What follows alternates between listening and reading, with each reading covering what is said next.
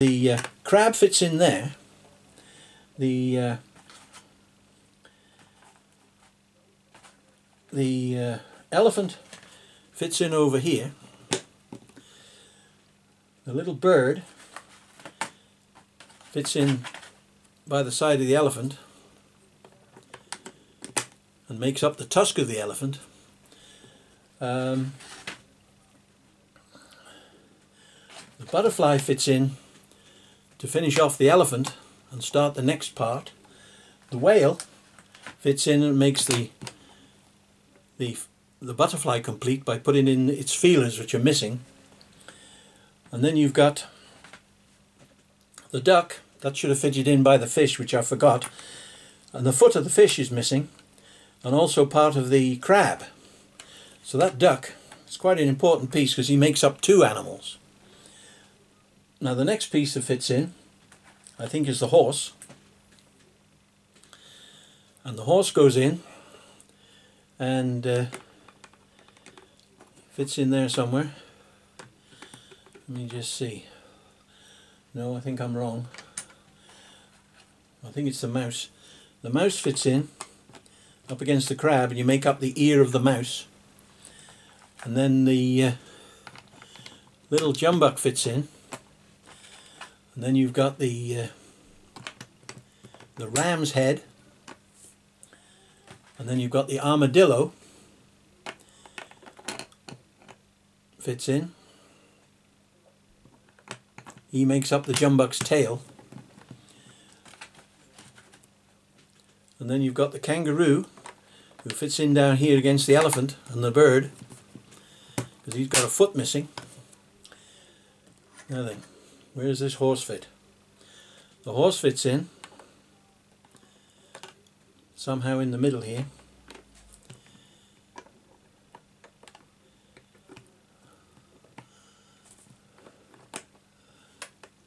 Fits in just there. And he's got the uh, mouse, forms his tail. And the uh,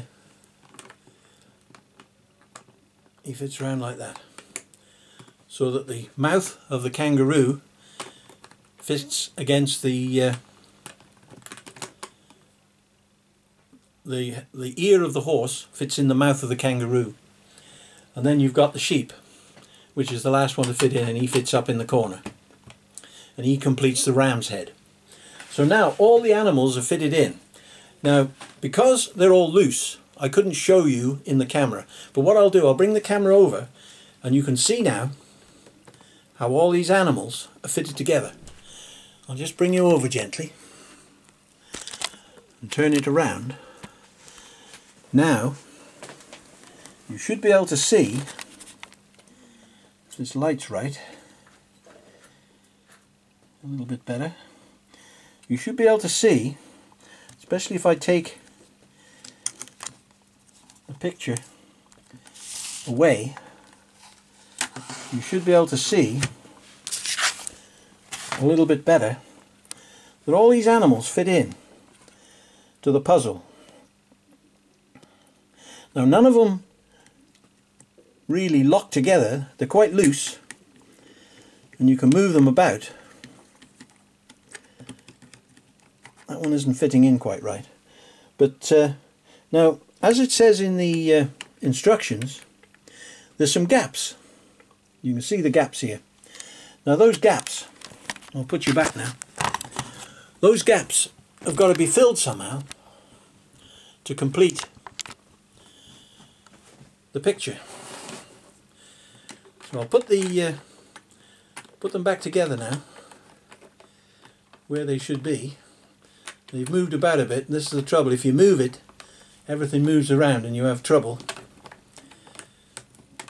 I think it's this little creature here, he's not in right. There we go. Now, all those creatures are in there, but they're not being held very firmly. And there's gaps between. Now, as it said in the instructions from the beginning, there's some spaces. Now, you remember the spaces that I was talking about here, which I made?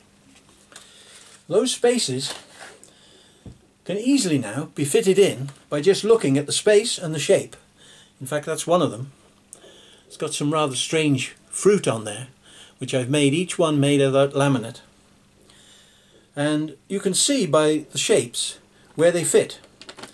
That one fits in there. It's quite obvious where they fit because of the shape. And this one that looks a bit like a fish, but it isn't a fish.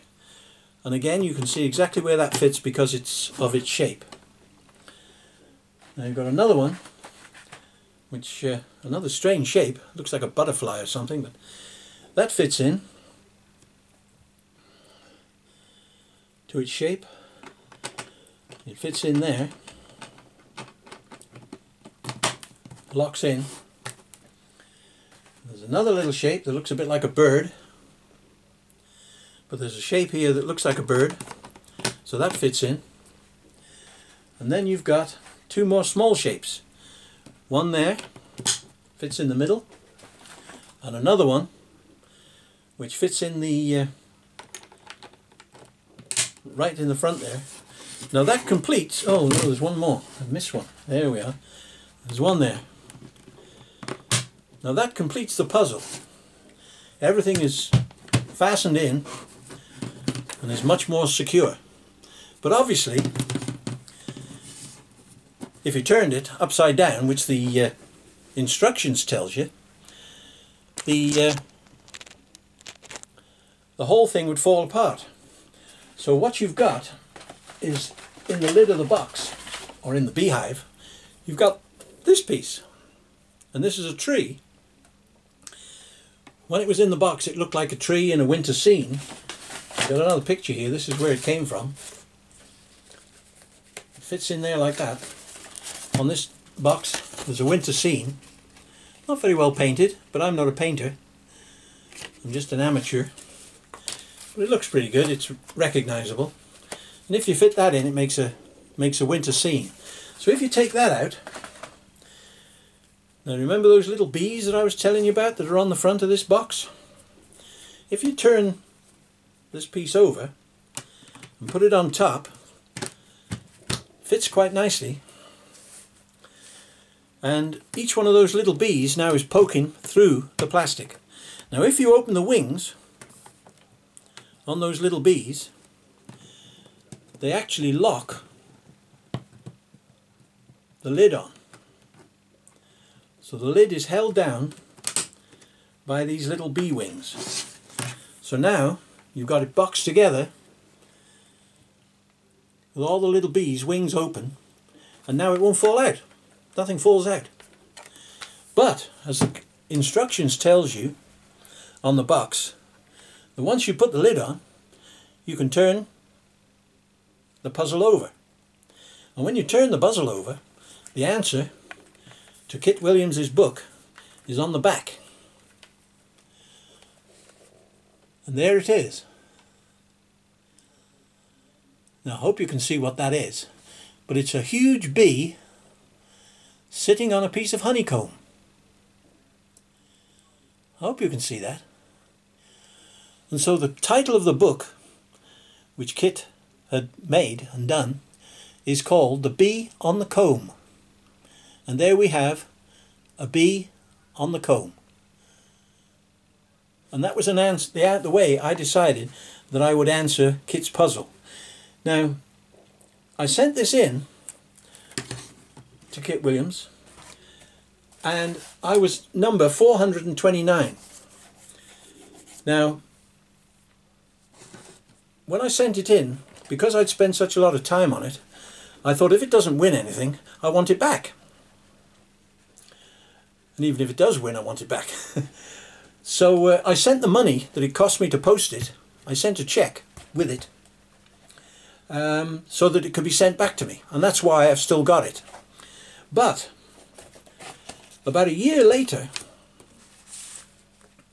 after this uh, competition had finished, and uh, it had been on the Terry Wogan show, and uh, somebody had had the prize and got the book with a title on it.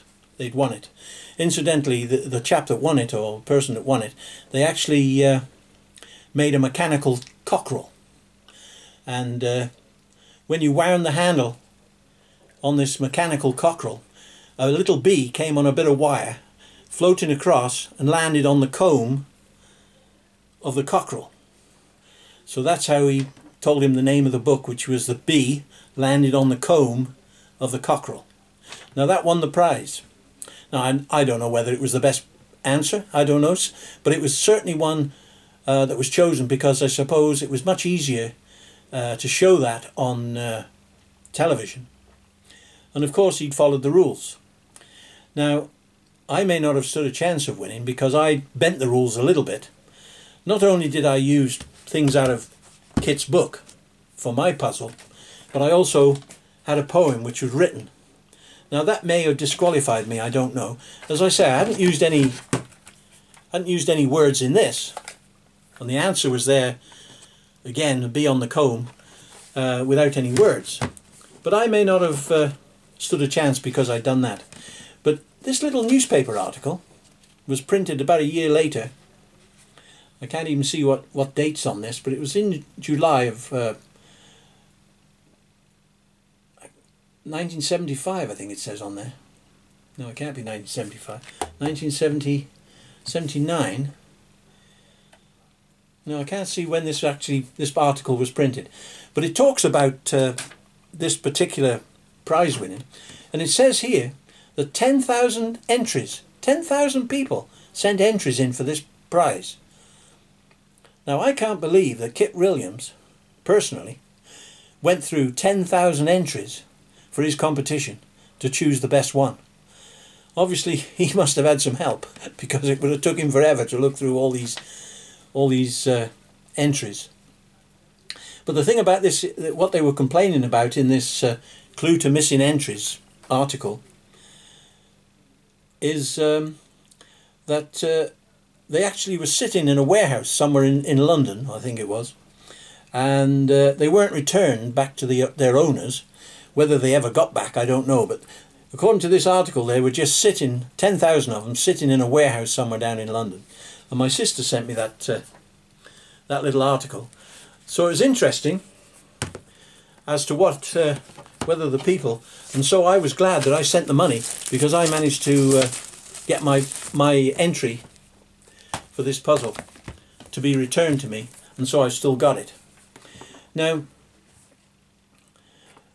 this is all very interesting and uh, I hope you find it fascinating plus the uh, the way I made this puzzle and how it worked. But um, one of the reasons I'm making this video, uh, partly to show uh, what I did and Kit Williams being an artist and all that, um, but I thought this was a really good idea. Now, lots of people make jigsaw puzzles. They love puzzles and secrets.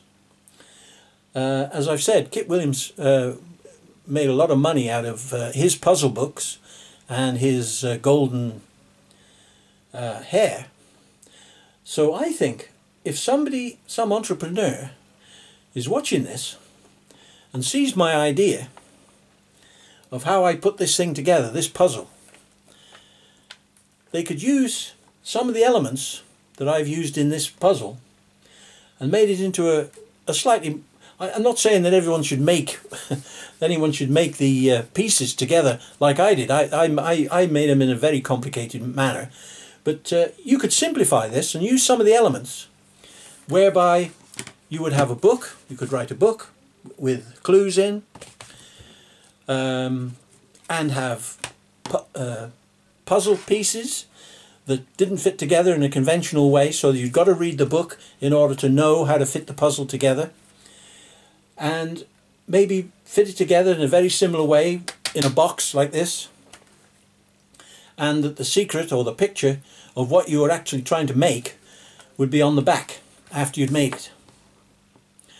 Now I find that uh, quite interesting and I'm sure there's money to be made out of that.